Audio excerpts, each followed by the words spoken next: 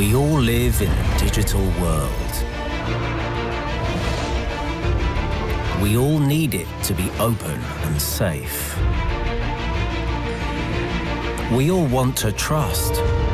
And to be trusted. We all despise control. And desire freedom. We are all united. Welcome everyone to our session called Do We Know How Much Our Data is Worth? Uh, my name is Ignacy Święcicki. I'm head of digital economy team at the Polish Economic Institute. And we'll start the session with uh, my colleague Christian presenting the results of our research. Um, and after that, we will uh, we'll have a panel of uh, distinguished guests, uh, Professor Avinash Collis uh, from, the Tex from the University of Texas in Austin, Mr. Tomas Lamanauskas, candidate for Deputy Secretary General of the ITU and Managing Partner of Envision, Envision Associates, Mr. Marcin Petrykowski, CEO of Atende SA, who will join us in a minute, and Ms. Katarzyna Szymielewicz, president of the Panoptykon Foundation, uh, one of the most important Polish NGOs in the field of uh, online privacy, who will also join us in a minute. So uh, now I pass, give the floor to Christian to present the results of our research. Thank you. My name is Christian Łukasik, and today I will present to you the result of research we conducted at Polish Economic Institute. So we wanted to answer the question of what is the value of data that uh, Polish internet users uh, generate. And we uh, answered this question from uh, two angles. Firstly, we wanted to know what is the value of data that Polish internet users generates for uh, digital platforms such as uh, Google and Facebook. We choose them because they are good representation of so-called free digital uh, services. And secondly, we wanted to know uh, how much value users themselves ascribe to their data and privacy. And uh, we estimated that using discrete choice experiment, which I will explain in a minute. And in addition, we ran a survey to determine uh, the, uh, the views of Polish internet users on privacy, targeted advertisement, uh, digital uh, platforms, platform economy, and regulations. So I will start with the survey because results were quite surprising for us. So first of all, it turned out that uh, people, uh, especially internet users, have quite a lot of knowledge on platform economy. 77% of our respondents said that for free digital services, they pay with their data. So we would say they are quite aware. Probably Netflix documentary such as Social Dilemma did their job. And also what was surprising that majority of people here, 87% are afraid or concerned about what tech uh, companies um, are doing with their data. So 87% said that big tech know too much about us. 84% said that uh, technological companies should be regulated more strictly. But on the other hand, uh, people are uh, hesitant to pay for better uh, privacy protection. 69% said that uh, no internet services uh, should be uh, paid for. They all should be free of charge.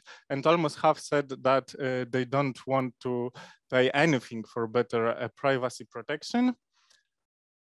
Okay, uh, here we can see the uh, the experiment that we ran. It was discrete choice experiment. We chose it because it helps to deal with some inefficiencies of stated preferences survey. So basically the group of 944 people was presented with choice tasks like this each uh, person saw 18 choice tasks uh, like this, nine for Facebook and nine for Google. So here, for example, they could choose between two alternative options. For example, they could choose Facebook that gathers the data, but only from the platform, not from other websites. They could uh, choose Facebook that does not create their uh, behavioral profile and that shows uh, advertisement, but those are random advertisement and it costs five zloty a month. And also respondents had uh, always status quo option, which is basically uh, Facebook gathers everything, creates your profile, targeted advertisement, but uh, it costs no money. And later, we uh, run our econometric model to estimate what uh, value uh, people ascribe to each attribute.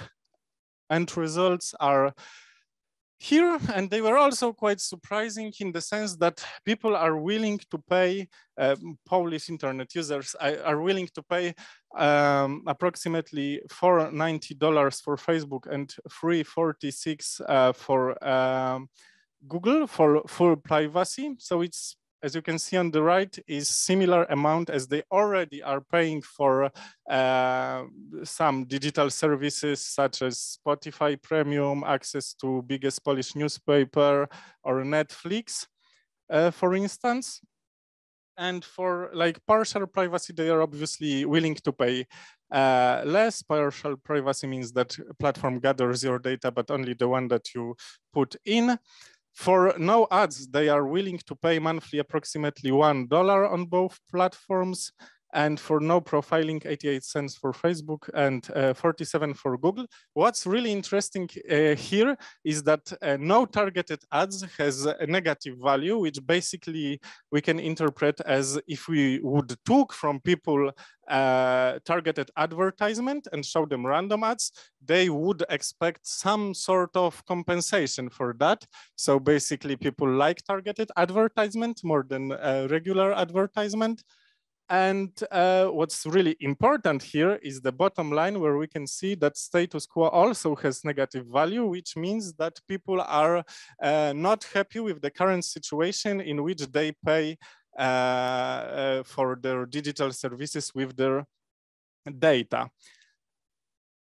Okay, and here we have uh, the other side of the equation, the value of um, data that Polish users uh, generate for uh, Google and Facebook. And basically we calculated that by taking global revenues of those companying, multiplying that by the share of the re revenue that advertisement uh, generate. And then later we adjusted that for the number of people and for GDP uh, per user in order to adjust for uh, different value that data has in different geographical location. So average uh, average uh, revenue per Polish user for Google is two uh, fifty-four uh, dollars, which for all of the users in 2020 uh, made one billion uh, dollars, which is substantially more than those companies put in their financial statement for Polish regulatory office. And for Facebook, average Polish uh, average Polish internet user uh, brings to 90 monthly, which um, in total in 2020 was 0.6 billion dollars. If we, it's, I remember correctly, it's uh, three times more than this company stated in their financial statement.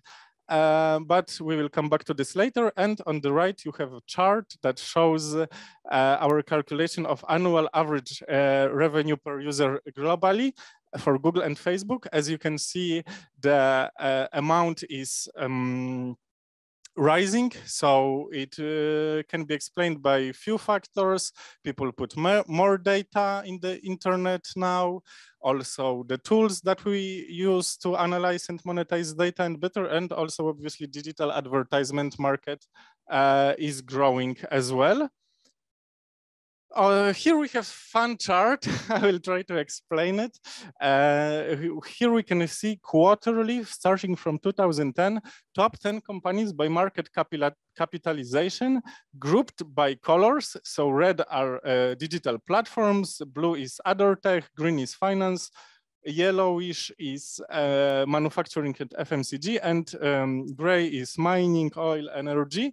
And um, yeah, can, we can also see how platform business model is uh, booming. Right now, we can see five uh, companies that are in top 10, while 10 years ago, it was zero companies. So we can see gray dominating on the left in 2010, and then starting approximately 2013, platform business model is taking it over. So to uh, circulate back, uh, we can compare those four numbers that we got. So we have this uh, 290 that uh, average uh, Polish Facebook user generates for the company and 490 that average Polish Facebook user is eager to pay if Facebook would gather no data from them. Same goes for Google. Average uh, Polish user generates $254 uh, monthly for Google, while Google user uh, would be willing to pay 346 if uh, Google would gather no data from them. And this has some interesting consequences. So I will now try to answer what does it mean to us, all the information that I mentioned. So firstly, we can see that uh, real uh, revenue of Google and Facebook in Poland might be higher than the one uh, officially uh, declared. Secondly, uh, people are quite aware that the uh, quite aware of the role of data in the platform economy, and they are also scared about it. And thirdly, they are unhappy with the status quo, which brings us to the fourth uh, fourth point, which uh, which is connected to this slide that there is perhaps possible different business model in which people would pay for their services less than they are willing to pay on average right now, but even more than those companies get uh, right now from their data. So maybe uh, some other option than uh, paying with your data is possible. But also we have to remember that in our survey, it turned out that people generally are, uh, if you ask them directly, they don't want to pay for any services. They don't want to pay for uh, privacy. And they, uh, majority of people said that they don't trust that paid version of Facebook or Google would uh, protect their privacy better. So maybe we should think about more radical uh, change in the platform business model than subscription model. And maybe, uh, yeah, and maybe what that I will leave uh, to our panelists. So uh, thank you for today. Uh, Ignacy, floor is yours. Thank you, Christian, for this excellent presentation. And now without further ado, I would like to turn to uh, to our speakers, starting with Professor Collis, if he's available online. Yes, I think I can I can see you. So I would like to ask you about the uh, the comments to the approach that we that we have, and maybe a little bit more general. Is it at all possible to measure the value of of private data, and what's the economic interpretation of such measures? Uh, yeah, thanks for uh, inviting me to participate in the panel. Uh, yeah, it's a very interesting piece of research uh, which you've done. Uh, I think uh, I had a few comments regarding like how to interpret these results. so I think the first comment I have is like when you run such online experiments, like for example, you know, asking people like, you know, if you would prefer a version of Facebook which doesn't use your data to target ads, um, these are like you know very hard questions to imagine right as a respondent when you answer a survey uh, so i think ideally what you would want to do is to do some kind of an online experiment where the respondents actually experience experience the platform uh, you know let's say without using their data you know what kind of ads do they see like they experience it ideally over a longer period of time uh, and once they understand what they're signing up for, then they are uh, in a better position to respond with, you know, with their evaluations. Uh, unfortunately, as you all know, right, like running such experiments is challenging without collaborating directly with Facebook and with Google and with the platforms. Um, and and you know, as academics, like we have struggled a lot to you know convince these tech companies to collaborate with us for experiments.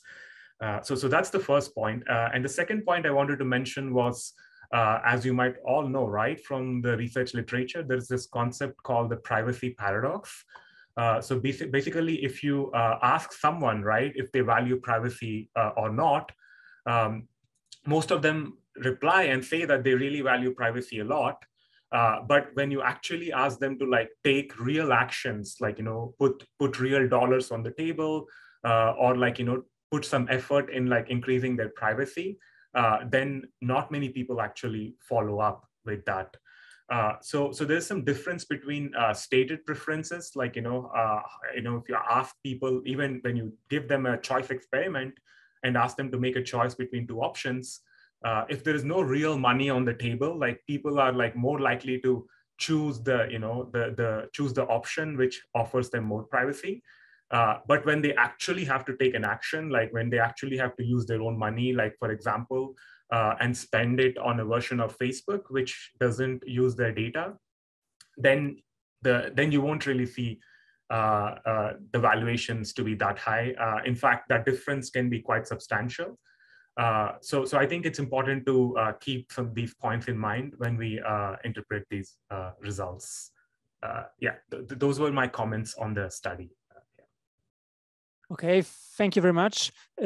Thomas, moving on uh, to you and your experience as a regulator and your experience in the uh, in the ITU, could you elaborate a little bit on the significance of such results uh, of the value of private data for international bodies and for public re regulators? So thank you very much, and uh, thank you for inviting me to this panel, and and thank you for a great study. You know, which of course gives insights that I think the most important insight here is, as you said, that people are educated. You know, so they know that the data is used, and that's a form of payment.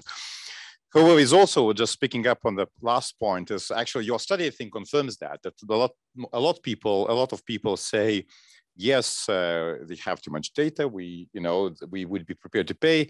But you, when you actually ask them do you think the services should be free or should be paid for, still majority of people say no, they still should be free, you know? So I think I think is a lot about sentiment versus real action question this uh, here as well, which uh, which would be interesting to explore. The, another thing is, and I think I'll, I'll, come to the regulatory experience here, but I think the data is just an, an interesting thing which is only valuable when it's used. Yeah, so if it's if, you have, if I have my data with myself, it's neither used to give me better service nor used to give others access to me and offer better service. So that's probably is not much value without that you know, about the data, you know. So, so again, the question is probably it's important, and I think it, I'm not saying you do that, but I think it's important not, not to oversimplify that I can use move that value that easily from one place to another, and that value will remain because if you know the products will be different and that's i think also like the previous suggestion about testing differently because let's say if google has to provide the search results that are relevant with, to you without collecting data from you you probably would see very different results in google you know? So you know, and the same with the, you know, like uh, other platforms that provide you, let's say, shopping experience. I have to admit, I, in the recent years, have bought something that was advertised to me on Instagram or others, you know, and actually pretty relevant, you know, so I have to admit, you know, so on the one hand, I don't want them to have too much data and attack me when it's not relevant to me, but when it's relevant to me, I'm really happy to get that advertisement, you know, so it's also uh, this balance. I think that brings me to, I think, experience of telecoms. And I think what you learned in telecoms and long on the monopoly experience, that you cannot regulate the outcomes, you know? And when you say what will be the different model there, I think you cannot predict. You know, we had the famous case when uh, Microsoft had to remove Internet Explorer. You remember which browser was there? Who in this audience remembers which browser was there at the, que at question that we thought they will benefit. You know, well, this browser just checked last time that browser, the last version of that browser was released was 2008. And today we're using Google Chrome. Do we pay for Google Chrome? No. Does the Google Chrome, you know, is Google Chrome so different in terms of business model? No, it's still tied to the, you know, to, to some other services. So definitely you cannot regulate specific outcome, paid, not paid, data, not data into the existence just by saying the setting the, uh, the direction. I think here, and probably I'm already jumping a bit further here. So what can you do? And I think we're already starting starting to see a lot of discussions, you know, on everywhere in the world, you know, around the questions around data portability, so that you can actually move your data to others, and the questions about the ability to aggregate your data. So, and you see, especially on a sectoral level, where you can take data from different banks and, and move it to one platform, and actually, in that way, increase the value of the data. And but then you also have need to have someone who use that, and the questions about you know how much power can be combined in one platform you know and, and or different platforms. And you see the landmark decision i think just a few days ago in uk you know by actually you know mandating or, or trying to mandate some some sort of coming back you know some some some sort of mergers which happen to go back. So i think that's where we'll explore you know what can you do. But i think for me my conclusion is yes data is valuable. Good that people understand that data is valuable but I think the final outcome, what does it mean, the final design of the product, it's not that clear yet. Thank you.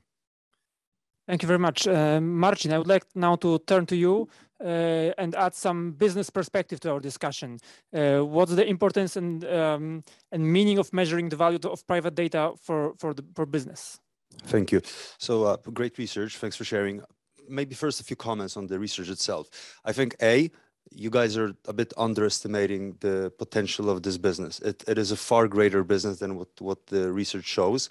And it's relatively easy to prove just based on the results of the big, big social platforms, social media platforms. If you look at Google itself, its ad arm brought in over 33 billion in the second quarter of this year in revenue, 33 billion. If you look at Facebook, that was around 17 billion which effectively means that with a average monthly user base of 2.4 billion worldwide, Facebook produces seven US dollars of revenue from each and every user. So every user generates seven US dollars of revenue for Facebook itself on a monthly basis, which I think in your case, it was two point something, yeah? So I think, so I think, well, GDP should be probably adjusted, but this is an average figure per, ev per every user. So it is a squared out number across the globe. So effectively, it is definitely higher. So I think the industry is far greater than what the study shows. That's point number A. Second point is, a, is an old saying which says, if you are not paying for a product, then you are probably the product. Okay, so I, I actually I, I, stick very much to one point which was mentioned from your from your uh, from your recap was I think uh, the different business model, and I'm actually in a bit of a different camp. I think we are currently at a time in the evolution of economies and capitalism in the internet, where we are still very much tempted and we are still very much benefiting from the model of free, free, freebie usage, freebie usage. I think it will change. And I think the, the upcoming model will be a model where both clients, uh, both both so both both both companies and platforms will actually be paying users for the data which they give to them what I mean by that, uh, I can actually envisage that thanks to blockchain, so decentralized means of, of, of, of, data, of sharing data information, and also combination of micro, micro payments, I actually can envisage a world if I'm using Facebook, for every time I share data with Facebook, they would pay me via a microtransaction for that data that I give to them. And then the competition starts to stand behind who is able to provide them with better quality of data the effect, and we all know that, that even today, there is a differentiation in quality of data. Actually, interestingly, data on males, on men, is higher priced than on females. Why? Because there's apparently more females in the world, so men's men data is like more scarce. B, the best category, the most valuable category of data is between 18 and 24 years of age. Yeah, so that means effectively I could envisage a world where you effectively have platforms that twist the business model. So it's, I don't think the model of using the internet for free will prevail. I think the model will convert into it's, for me as a consumer, it's still for free, but I get paid because of my contribution to the system. And today's technology allows that to happen. Back in the days, it was not possible. We didn't have microtransactions. It would be very difficult. Yeah. And I think, you know, today we're actually now at the, at the time where together with the regulatory phase, the more we start to push both, both I would say, advertisers and platforms to consider that model, I actually think there is a solid business case. Why? Because if you look at the P&L of platforms, it is very, um, it's very unlogical. Why? Because they take the full revenue, but their cost is not the user. If I provide them with data, that's not their cost. So it's not part of, the, of their L it's part it's part it's part of their profit it's part of the revenue. So effectively it's like in manufacturing. If i need to produce a product i need to purchase raw materials that allow me to deliver the product. Data is the raw material. It's the next currency of the world. So i think the model will move into a set of effectively you know payments that are given to users for granting access to information Thank you for these very interesting comments. I just want to add that in our research, we did uh, we did adjust the average revenue per user. We adjusted it for the number of Facebook or Google users in Poland and also for GDP per capita. So I think that, that the global average is very different to local average in, in Europe, Asia, or the United States. I think that those differences really, really uh, big, but I, I, already see uh, a lot of different perspectives on the business models that can emerge and and uh, and to which those this research points. But um, before getting back to that, I would like to turn to uh, to Kasia Szymielewicz and ask you about your comments uh, on the value of private data and and what's the importance of measuring it and making users aware of the value that they generate for the uh, digital platforms. Um, hello, I joined the panel uh, as a commenter, so it was new for me to see the numbers. Um, surprising indeed, and uh, congratulations on the scientific approach to this um, problem. What's the value of measuring it? Uh, well, I'm usually more concerned with measuring harm. This is what we as civil society advocates are certainly more, more concerned. So showing, finding evidence and measurements to prove that the current business model um, run by dominant platforms is simply harmful and therefore we should not allow it uh, rather than twisting, as you said, uh, the business model and asking what would be the value, what kind of payout would justify for consumers accepting it even longer. Uh, so uh, if if research like this was to open the discussion seriously about twisting the business model towards payouts, I would be not against the research because I'm never against research, but definitely against such a value proposition for, for users.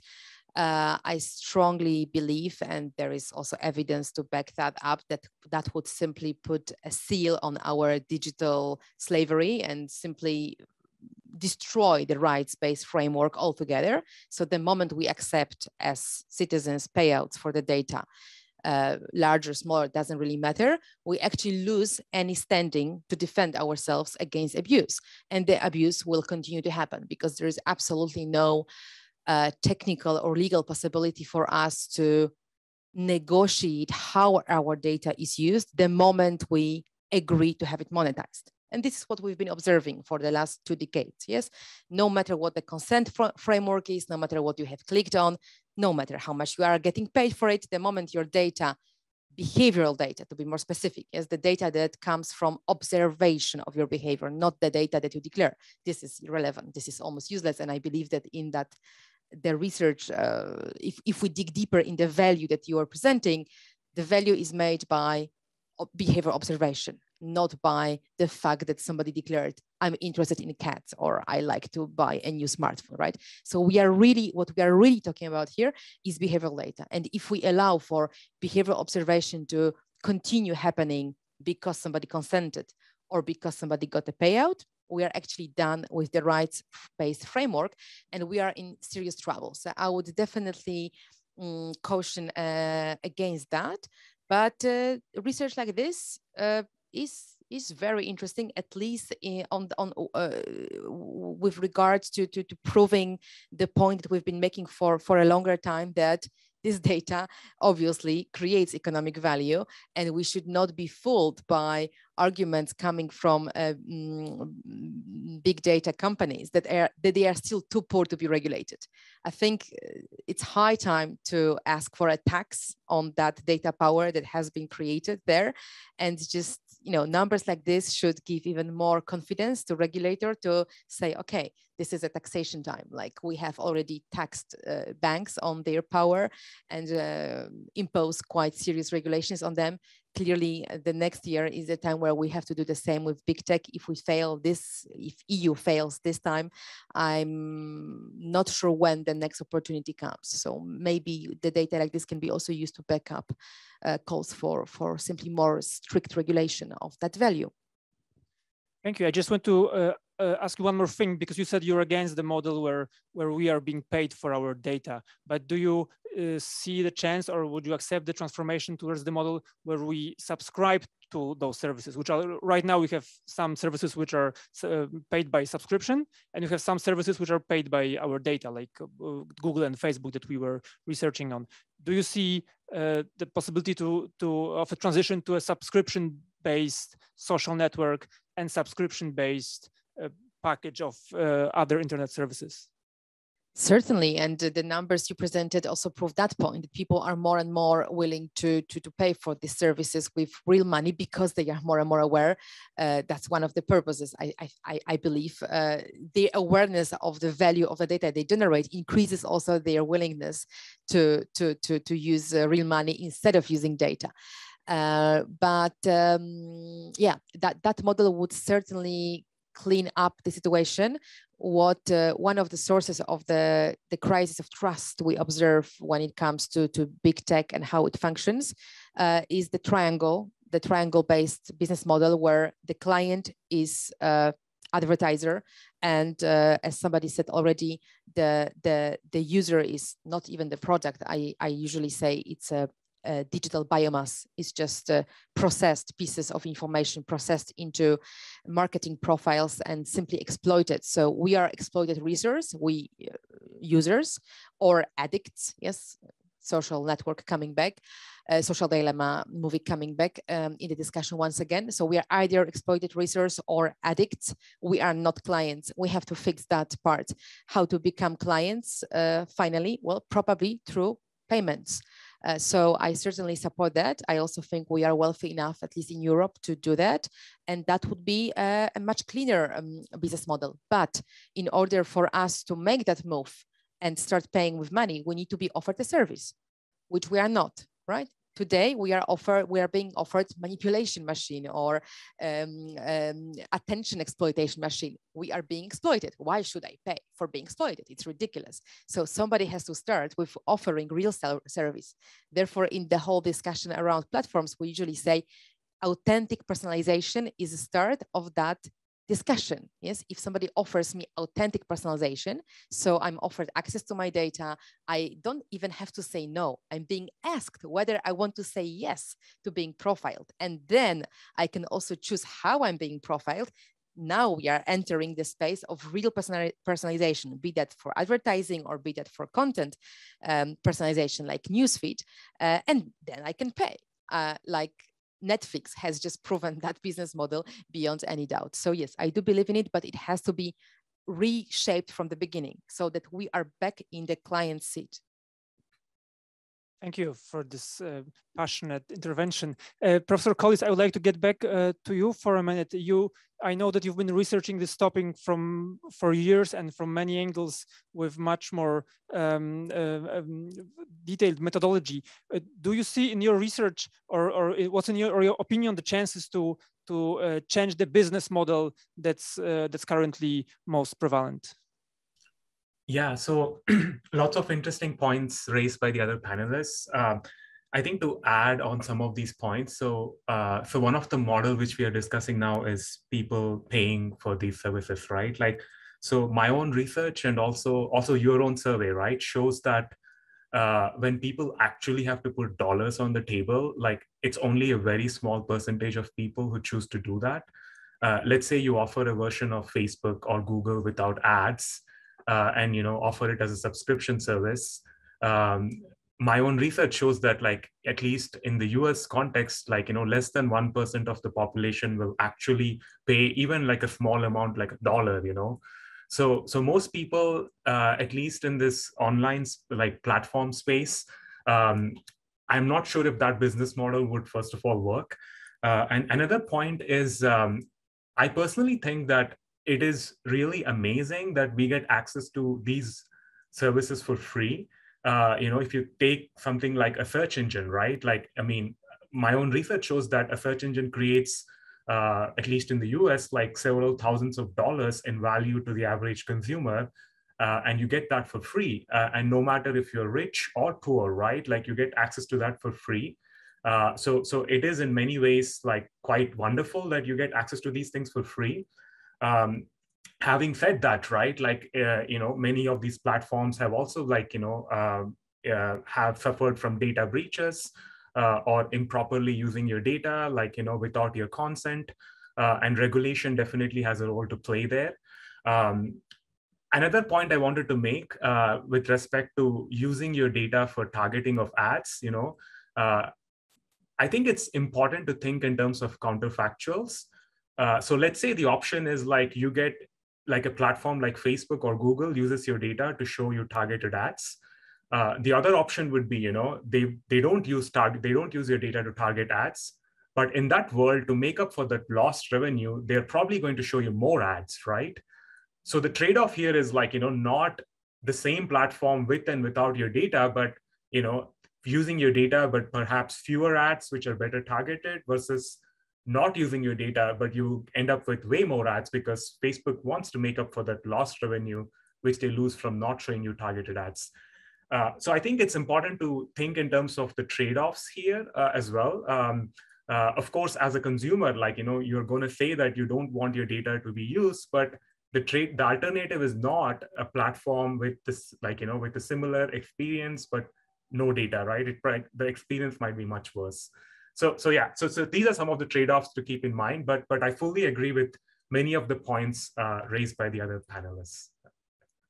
I would also like to ask you about, because I know you've been researching the differences um, in attitudes in different cultures or different social groups. Can you comment a little, a little bit? Is, is our discussion here and our focus on on privacy is it uh, like something we only uh, like only one part of what can be seen? And is it very different in different countries or different social groups? Or, or is everyone so much concerned about the, their privacy and data?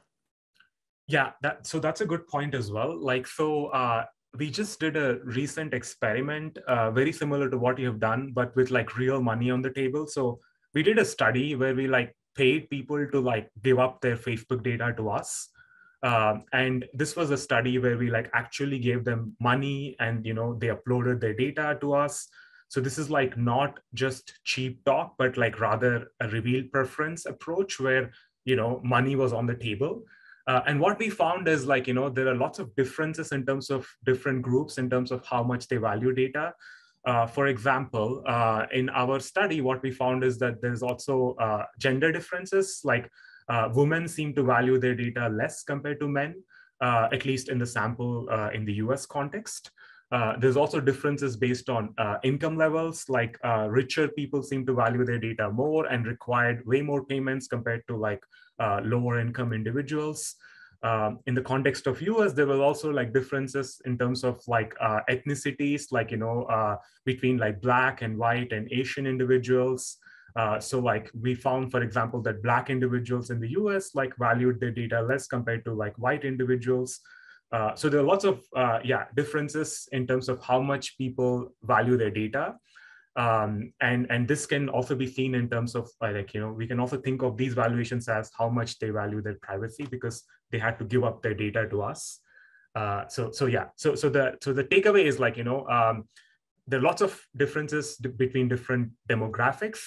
Um, and if let's say we move towards a business model where the platform or the regulator forces the platform to pay people for their data, um, this might lead to like also income inequalities. Like for example, you know, what we found is that lower income people uh, and also women and black individuals like who are traditionally discriminated in the labor market actually like you know would get less payments in a, in a world where you know people get paid for their data so so it's important to keep these uh, differences in mind as well Thank you. It's really very interesting to hear the, those very different detailed perspectives. Uh, Thomas, I would like to turn now to you. You have a lot of international experience in your previous roles. Can you say a little bit about what's the uh, approach towards the topics we're discussing here, the platforms, the privacy issues uh, in different places around the world? You can also see that in ITU, I'm sure that, that the approaches is very, are, are very different. So thank you for that. And I'll would like to pick up on some of the other points we discussed. But starting from that, I think it's very pertinent that we shouldn't overestimate that everyone thinks like us. I think that's always very important in these discussions because, and we don't need to go far, you know, like in this part of Europe, just a bit north, you know, and here, you know, single ID to provide, to get good access to government services is okay, it's normal thing, yeah? Across the Atlantic, single ID to get access to the government services that is issued to every citizen is something unimaginable in total affront to the privacy. Yeah? So, so we don't need to go when we sometimes think about you know, more exotic places or distant places, just between those two, you know, between, let's say, US and Europe, we have rather different experiences. And then within Europe, we have rather different experiences, how much we value data. and how much you know that data is that how much the caring or concern about data is in our let's say category of needs as well you know compared to other things compared for example what uh, what before was saying compared for with getting access you know to the internet let's say versus you know getting you know sharing your data for that or getting access to certain services so i think there's definitely there's definitely differs so a few, you know, a few other things is, but then of course it's important for me, and that's kind of again coming from the discussions about taxation in telecoms, and that's why I wanted to pick on your point about taxation. I'm probably, you know, bit, taxation is an important topic for many reasons, you know, to, to get allocated the tax rise to different economies, right? And as you know, OECD just agreed a digital tax deal, you know, and, and this is happening. But I would definitely be very skeptical about using that as a way to compensate users because there's no, because that's kind of, that's actually taking away money from those same users and funding something else, you know, and uh, and uh, usually we didn't have that good experience in telecom sector, you know, with some of the uh, with some of the ways where telecom sector is taxed that actually lowers and that money doesn't always get back to the users. That money gets to the different other purposes and uh, usually increasing a lot of inefficiencies there. So I'm not saying that digital taxation is not an important topic. I think it is, but for very different reasons than user protection. Now, in terms of a final solution, picking up some points, so how I see that is a bit simply, you know, so in any service, again, coming from telecoms world, you know, different ways to pay for that. And we had these discussions about network neutrality and about interconnection, all those other topics. And we have like a, from the basic economic understanding, these are multi, uh, multi-sided markets, yeah? So let's say you platform, you have different, you have your costs and you have a different revenue sources. You have revenue source ad providers. You have revenue source, the people who want to pay you money for, for insights into the overarching aggregated user behavior. And what you're proposing today is a third revenue source. So the user payments and some platforms are using that. What we need to understand, it's all the money that comes into the same business. You know, it's, it's not like a more, you know, by definition, it's not that value is, is changing. It's just that kind of different ways you kind of collect the money. So if the user pays, that means someone else kind of someone else pays less you know? So that means if your advertiser you know maybe cheaper for your advertiser to reach you you know? So there is of course more direct connections there. So let's say if you are you know if you're directly targeted by by some by some someone who uses your data maybe you get a discount or get a cash back but that's already happening there you know? If your users if your data is used for something maybe you get it paid. But i think the idea is there that it's all it's not about creating money or you know someone is not paying. It's all about the money coming into the into the overall market and then being used to being used to three for three things. To cover the costs to cover the cost of capital that means how much the money invested in the market investors would cost for.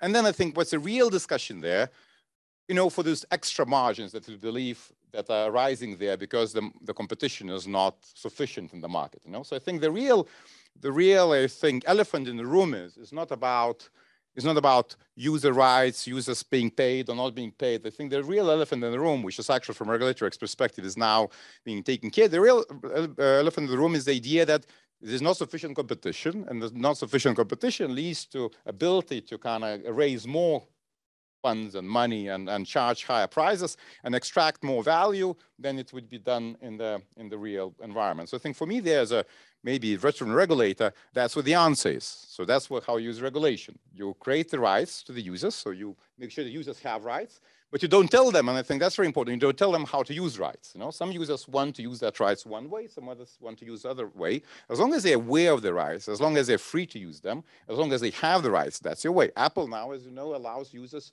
much more you know, clearly to decide whether they will retract across the platforms or not, you know, and then users are given more rights. And the second thing is really ensuring that there's a competitive environment, there's a you know, sufficient level of transparency, a sufficient level of abuse control. And I think once you have that, you know, you then allow the, you know, the, the market to sort out. And some users would prefer to pay, some users would prefer to not pay, and that will depend on a lot of things, including on your previous expectations in different parts of the world. Thank you. Thank you very much. Um, Marcin, before turning back to you, I just want to say that there's a microphone in the room. If there are any questions from the floor, please uh, raise your hands and, and, stand in the, in, the, in the line. We'll have some time for that in the end. Uh, I already see uh, Janek asking for, for the floor. But Marcin, I saw you nodding uh, when Thomas was talking about uh, taxation. There's been also uh, different approach to the changing economic model discussed, uh, proposed uh, by Kasia, uh, as well as a call for more regulation from Thomas. I'd like to you to comment on, on those uh, emerging topics. Right, thank you. So I fully agree. I think taxation is not really the solution because we're not giving back the power to the user. We're just effectively adding an additional layer of payments to a company that is already benefiting from something that wasn't going back to the user. I'm a big believer in regulation and smart regulation. And I think that's where the devil sits. It needs to be done in a way that won't hinder the development and the freedom and the liberty of an ability to develop the, the, the, the, the digital economy but it needs to stand behind the user. I think then two additional points. The professor mentioned the income inequality issue, potentially with your model, Kasia. I fully, I fully agree. I think the, the problem, the, which is exactly what happened with Netflix. Netflix is an elite service. It's a service only for few, and you have a lot of people that are, that are excluded from it, and that will always happen in a pay-per-view model, sadly therefore i think also if you think about what is the what has the internet given us the, the internet has given us democratization. It has democrat, democratized things that were scarce to effectively everyone. So if we use this model, it is completely against democratization. Hence, the model of giving, paying the user is a very democratic model. And I fully agree that it will mean that some users will be paid more, some users will be paid less. But if you think about it, that actually creates competition and actually incentivizes the users to improve so that their data is worth more by education, by effectively improving their living conditions no, it's a very, it's a very, you know, it, it, that's how the free market is used. When you empower people to make a difference by valuing the, the data that they give, you motivate them to make a difference in life. And I think that's also a big point that needs to be mentioned in this discussion. And last but not least, something that we haven't mentioned is I think we are not talking about a very big upside of data. Like if you think about where we are today in terms of the world, you know, having this huge issue of, of environmental, of, of environmental risks, data can be used to a huge benefit to, for example, decarbonize the world. Yeah, if you look if you look at how much data we can extract around movement, around transport, around around industry of things, and I think this also needs to be added into the equation that this data is not only used to benefit big companies, but it can also be used for the benefit of the society as a whole. And I think this discussion is a bit missing here because we're focusing on the social media platforms. We're forgetting about, I don't know, smart metering as an example. The more smart metering we use, the better we are at assessing how we use energy, how do we add uh, green energy into the, mi the mix, and we effectively improve the world. So I think that's also an additional component of the discussion where data can really add an additional layer of value which I think needs to be added. And that's again why some some of it needs to be paid for because we're actually, you know, we're giving it back to society on a bigger level. Thank you. Kasia, I see you want to comment, so I will ask for, for your short comment, and then I will give the floor to Janek Zygmuntowski, who has prepared some questions. Right now, since you asked me to comment, I really want to do it now. Um, it's a huge, huge topic and it has many aspects. So I wouldn't even open today seriously discussion about reuse for societal objectives of the data we generate. I'm all for this, but I just wouldn't conflate it here because it's yet another discussion. Uh, one uh, comment, one new concept maybe for the ending to open something new. The comment is we we cannot forget how complex is the motivation on the side of user. I mean, how how different are these human stories behind um, decision to continue using abusive service. Some people will not have choice, some because they are not educated, some will not have choice because they don't have the money to pay. Some of them will choose uh, Apple uh, a very expensive service, privacy protective, where you pay for the hardware even much more than Netflix, right? So there, the I wouldn't just generalize on the on the side of the motivation. Some people will continue using abusive services because they're addicted to these services or because they have been manipulated. So we, I think we cannot just treat like liberal economists sometimes do. I'm not saying anybody here is one. Uh, that there is this rational consumer sitting there and calculated. It's not that simple. So that's another complexity that I think we are missing here. Uh, the novel idea, maybe uh, just signaling it. We've been publishing a lot um, on Panoptykon website and other websites if you want to understand better. Unbundling of the online platforms seems to be the approach that offers space for all these innovations. So if we unbundle something like Facebook, make that platform open for alternative algorithms and alternative services to operate on the top of the social network, then you can do what you mentioned, competition of business models without betting on one. So then you are not, uh, you don't have to choose really which one will be the best for consumers. You let them choose different basis, different business model depending on their motivation. One will, will go for subscription, the other might go for the payout, and the third will go for uh, something I like a lot, which is publicly funded, something like BBC for data uh, model on running on Facebook or uh, non-profits offering um, protective services, right? So we, we could we could really open a whole array of business models in the space where there's only now one exploitation data exploitation machine. Thanks. Thank you. I, I, saw all the panelists, at least here in the room, nodding on your comments about regulation. So this is obviously uh, towards we are going towards the consensus. But I now I give the floor to Janek Zygmuntowski and his and his uh, question or comment. Uh, please be, be brief. We have 10 minutes left for the session. Hi, so Jan Zygmuntowski, Koźmiński University. I wanted to ask you because I feel this is maybe missing from this conversation, uh, although it's been super specific and super interesting. Um, do you think that maybe we should not only look at the regulatory side and on the consents and on the rights, but also look at institutions? So design a totally novel data institutions. There's a lot of talk about data trusts, data commons. There's uh, successful experiments in data co-ops. Uh, we know that probably, and there's studies of it, that if we just allow people to take decisions, they might not take the best ones just look at uh, cookie banners uh, people accept because you know it's it's too much to process these days in the infodemic. What do you think about these data institutions? And could they be like uh, like bbc like public data commons so to speak? Thank you. Uh, i'm not sure if any of the panelists who wants to answer first. Professor collis i don't see you at the moment. I'm not sure if you want to answer or you want to leave this to the panelists in the room. Uh, I, I will let the other panelists answer. okay Thomas, please. So I think we're already in that road. So if you see, so Data Governance Act, the European Union was just adopted, you know, and has the data intermediaries concept, you know, where kind of, you know, exactly the third party will help exchange the data and hopefully will also help the users understand where the data sits and access that. And and, and understand where the data sits. You know, then you have different sectoral approaches, you know, like different specific specific organizations, especially, you know, in Europe, PSD2, you know, Payment Services Directive 2 for financial sector actually created those data exchanges. Yeah. So if you want to access your new bank and your bank can wants to access data from other people, from other banks, they can do that. So I think we are we are starting seeing that. I think it's just too early to say which is to kind of have a final design of that. So I think we are now in the process of experimentation and definitely will be some ideas emerging like that. Thank you.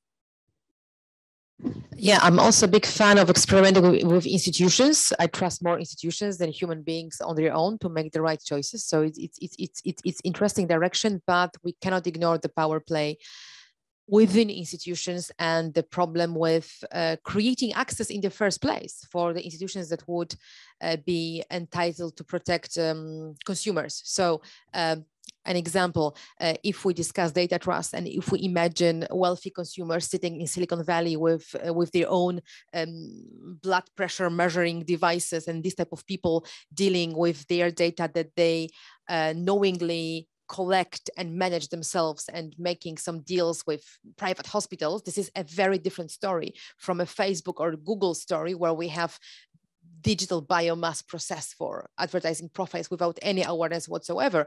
If you want to introduce an institution here, you need to break the dominance first. You have to either unbundle platforms or enforce data portability real time, or I mean, do a revolution in terms of who has control over data.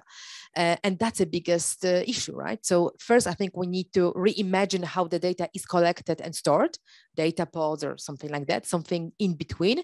For these institutions to even come into a, a, a, game. So whenever I hear data trust, I usually think like, oh, another a very liberal um, kind of concept coming from another universe where people are aware of their data, able to manage their data, have time and money to do that. It's, it's very abstract. This is niche, this is elite. So in order to make that response more democratic, we need to stop the data uh, dominance um, uh, on the side of um, big platforms in the first place. I would only add that I think the issue of institutions is and will be a how to assure objectivity very difficult manner and you will end up having you know different type of politics driving institutions. So i think objectivity and second is empowerment. How do you how do you really empower institutions to make a difference? There's so many institutions out there that have zero empowerment. And again i think that's where we should more look at the regulator sadly or sadly not. I think that's where the regulator then supported by institutions which are objective can really make a difference Okay, thank you very much. I, I want to, if there are no more questions from the floor, which I don't see at the moment, I will have one more question to the panelists because in our research, uh, apart from the value of data, we also asked about the the views uh, and and the, the perception that people have on how their how, how the platform economy works, and we see um, a number of let's say paradoxes there. For example, um, people generally agree that the big tech platforms know too much about them, but on the other hand, they don't believe that, that paid versions would serve them better. So I would say there is some kind of, um, on the one hand, the, the, the, discourse which promotes more regulation is already um, trickling down to people and people start to see that there is a problem. On the other hand, what I, how I read the results is that they are quite confused on what the direction should be and what are the possible solutions. In, in your view, uh, maybe starting with, with Thomas, is it uh, is it possible to to have a general consciousness on of of the changes that need to be done and on the new business model, or does it have to be forced by the regulation or institutions on uh, on all the internet users? So first of all, I think that uh, your thing, your your research very clearly shows that the sentiment is not sufficient. You know, so that you actually and I liked really the, our remote panelists approach that you know you have to kind of really test that sentiment with the real uh, real um, uh, uh, you know real money you know and people are interested to pay. And is it like a because they get the value or is because in psychology learn learn helplessness you know when you know like whatever they have my data what what will they do? Um you know probably a little bit of, a little bit of both you know? Uh, but i think um, so i think that's general sentiment is of course that's now channeled in the political discussions are real that people want to have to feel a bit of a control of their own data of their own information their own lives is important, but that doesn't necessarily translate in direct changes in the product design. You know, it can change in the general more policy discussions and, and regulatory discussions. And I think I'm, you know, just as a concluding remark here, I think what's more, what's most important here is to really have, uh, to really ensure that people have rights and those rights can be exercised. And I think that's, I think, uh, and then allow them to exercise those rights. And when, but, you know, and then in that context, I will include then questions, you know, that was mentioned here, you know, do they understand it? For what reasons they are? So that, of course, those rights should be meaningful. But I think that's, for me, that would be the main focus before we would talk. And I would not imagine to predict uh, what the outcome that focus will result in, as long as the people can make those choices in real terms. Thank you. Uh, Martin, I would like to ask you for your summary comments on whether we can count on people understanding more and changing their behavior, or we need to have some uh, pressure or nudging from the side of regulation. Well, I think it's a mix. I like your concept of a hybrid approach. I think it actually makes a lot of sense, you know, giving people an option to choose. And some people are going down that way. If you look at LinkedIn, LinkedIn gives an opportunity to use it for free and gives an opportunity to pay for a premium access. So in a way, I think that's probably the, the, the, the, the, the solution. I would mix it with education. I think there's a lot we need to do in terms of educating people to understand how much their data is worth and how can they use it to their own benefit and to make sure that they don't use it against themselves. And B, I would stress this point of I think we still do not realize how much power data can bring in order to improve some conditions of the world as we know it today. Decarbonization, decarbonization is one, environmental protection is second, social unrestness, political, there's so many things. And I think that part is missing from not only this discussion, but from a more wider perspective on data as like effectively a fuel of the digital economy. Yeah, I do hope we can discuss that maybe next year here or in better event venues. I know uh, quite a few um, organizations that study uh, these possibilities, including Ada Lovelace uh, Institute that is about to publish a big report, rethinking data, including exactly the how to generate or grasp that social value of it. I think this is coming. This is coming big time. Will it, will it come from the people no it will come from the elites people like us. We have to reimagine the internet. We have to propose these models and then hopefully it will trickle down. Maybe visionaries like uh, apple in the past uh, will help. Maybe the really innovative startups. I just hate that term because it's, it's been so worn out by just big tech you know telling us innovation when they do exploitation. But i still think that maybe uh, innovation can be reclaimed for something uh, truly beneficial. So maybe we can see, may, maybe we will see great innovations proving these points, but somebody has to start. The people who are now the digital biomass completely passive and exploited, they will not reinvent the internet. This is clear. So it has to come from other places, that revolution. Thank you very much. We're exactly in time. I just want to use last five seconds to say that we, you saw the preliminary results of our re research and the report will be published early next year. It will be openly available on our website, pie.net.pl. And thank you very much all panelists for this excellent discussion. Uh, Professor Collis, thank you for your remote participation and comments on our research and have a good time at the IGF. Thank you very much.